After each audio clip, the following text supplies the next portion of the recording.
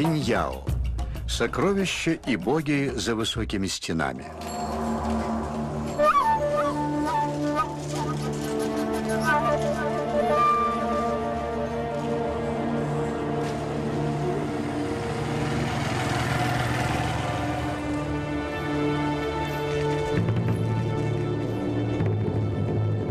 Барабан возвещает о приближении императорского посланника.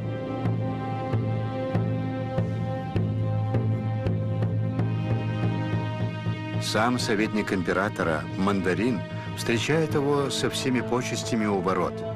Ведь властитель ждет от посланника только хороших вестей из Пиньяо.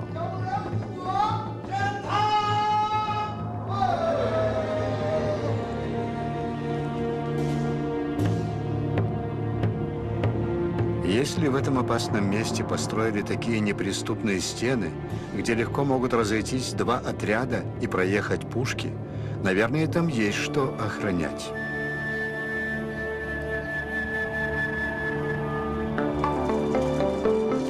Многие столетия Пеньяо, лежащий на краю лесового плато на севере Китая, был лишь незначительным районным центром.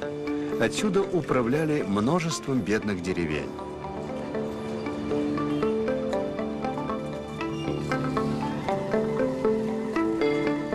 Однако в конце XVI века разбогатевшие ремесленники, красильщики и купцы из всей провинции поняли, что Пиньяо – отличное место для торговли. В городе пересекаются два торговых пути. В каждом доме теперь находится лавка, обменный пункт или мини-мануфактура.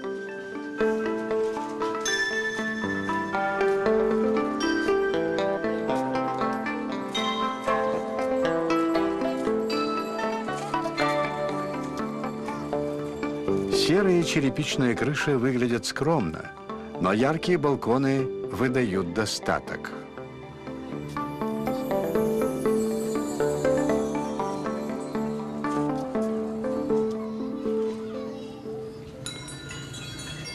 Крыши храмов покрыты цветной глазурью. Верования китайцев вобрали в себя идеи буддизма, даосизма, конфуцианства – Вера в духов сочетается с очень земными представлениями о счастье. Китайцы считают, что у каждого города есть свое божество. Ему и посвящен главный храм Пиньяо. Боги тоже нуждаются в защите. Драконы на крыше отгоняют злых духов. Однако против коммунистической революции они оказались бессильны. Храмы отдали под склады. Лишь в конце 20 века, после многолетнего упадка, их начали реставрировать. Теперь здесь снова обитель даосийских монахов. Новая гипсовая статуя городского божества. Сила традиции, иногда и вера, вернули храмы к жизни. Ведь иногда людям просто хочется пожертвовать пару монет или ладан.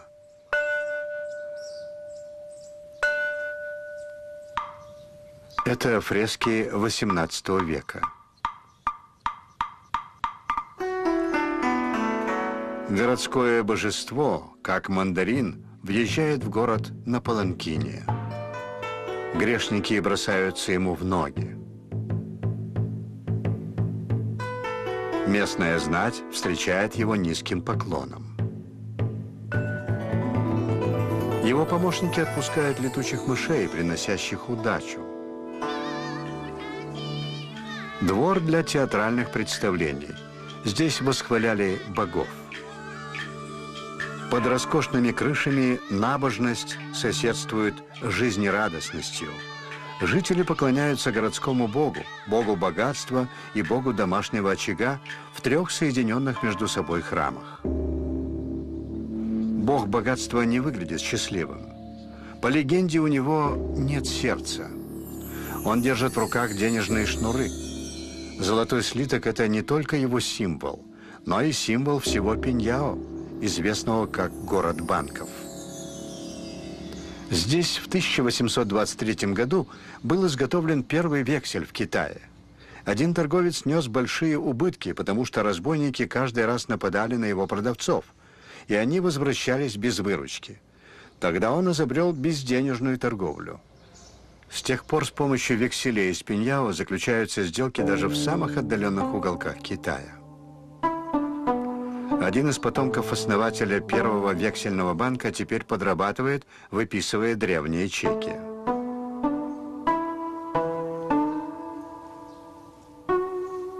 Он делает расчеты и искусно выводит их тонкой кисточкой. В этих скромных комнатах заведовали миллионами.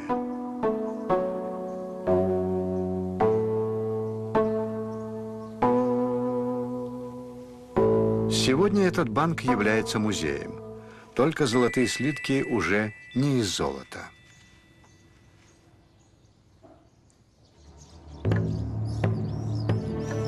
Пиньяо становится богатым торговым центром, который должен себя защищать. Построенная в 1370 году стена была полуразрушена. Сейчас ее постепенно восстанавливают, изнутри с помощью утрамбованной глины, снаружи с помощью обожженного кирпича. Все городские постройки оказались в тени высокой десятиметровой стены, протянувшейся на 6 километров.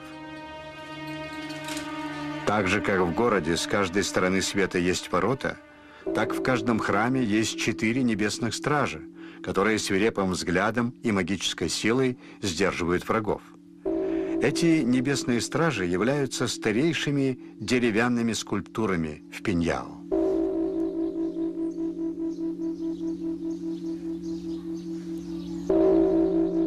Полные жизни даосистские храмы находятся в черте города – тогда как буддийские монастыри, как, например, Шуанлинь, одиноко лежат за городской стеной. Основанный в VI веке Шуанлинь – важная остановка на пути паломников из Индии в Северный Китай. После 400-летнего процветания храм пришел в упадок и обрел свое былое значение лишь когда Пеньяо стал торговым центром. Вместе с паломниками в город приходят торговцы. После удачной сделки и благополучного путешествия они благодарят богов и приносят жертвы в храме.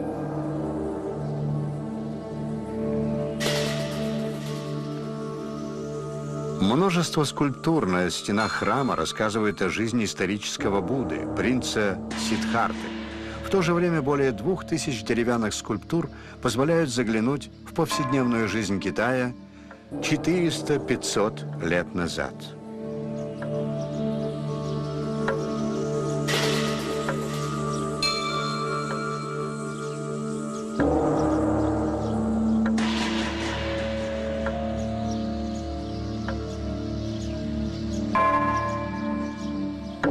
Зал просветленного Будды Шакьямуни – лишь один из десяти молитвенных залов храма.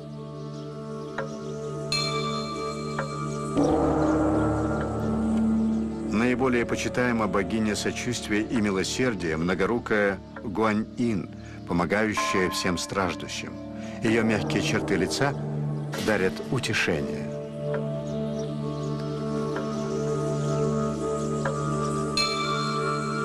Ее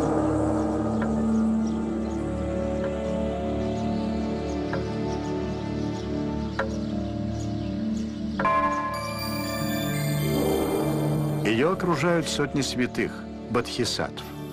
Они кажутся живыми, как будто спешат на помощь сквозь дождь и непогоду.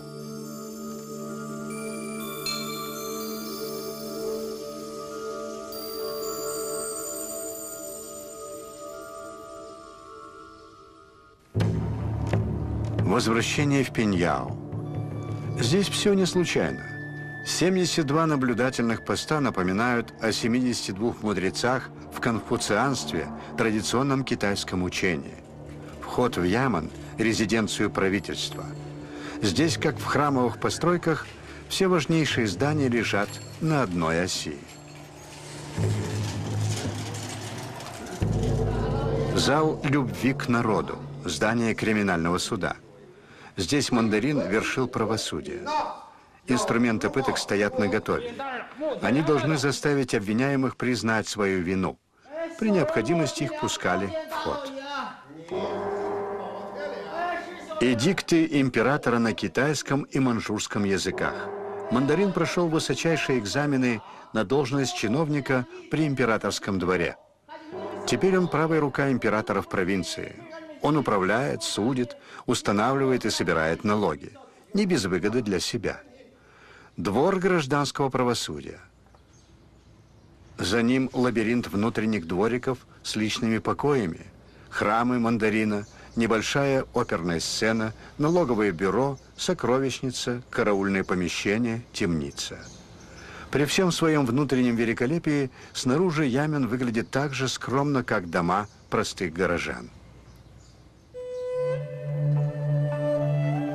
По древним поверьям, злые духи могут ходить только по прямой, поэтому в каждый двор ведет небольшой изогнутый проход – в Пиньяо сохранилось больше 400 таких домов.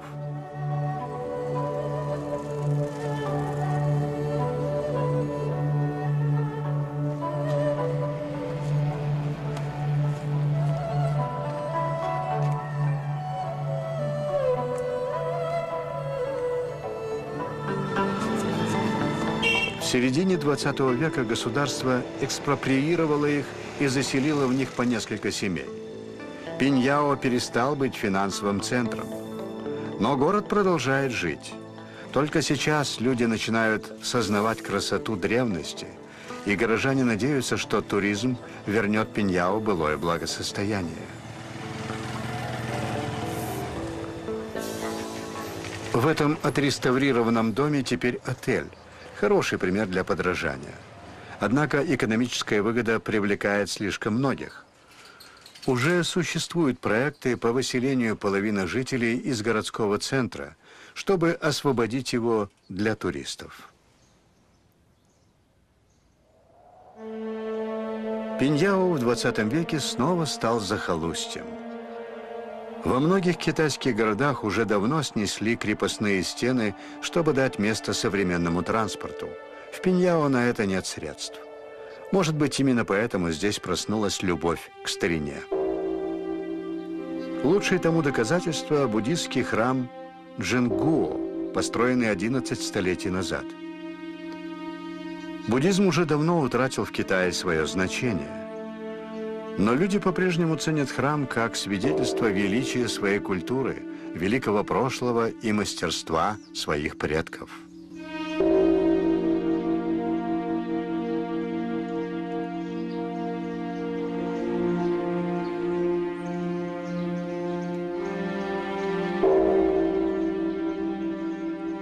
Когда во время культурной революции в 60-е годы 20 -го века красногвардейцы Мао Цзэдуна опустошали храмы, жители Пиньяо, недолго думая, превратили храм Дженгуо в зернохранилище.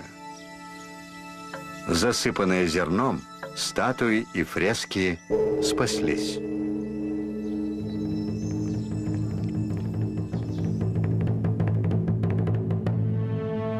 Городскую стену Пиньяо, призванную защищать богатство, не снесли из-за нехватки средств. Сегодня она сама стала богатством города.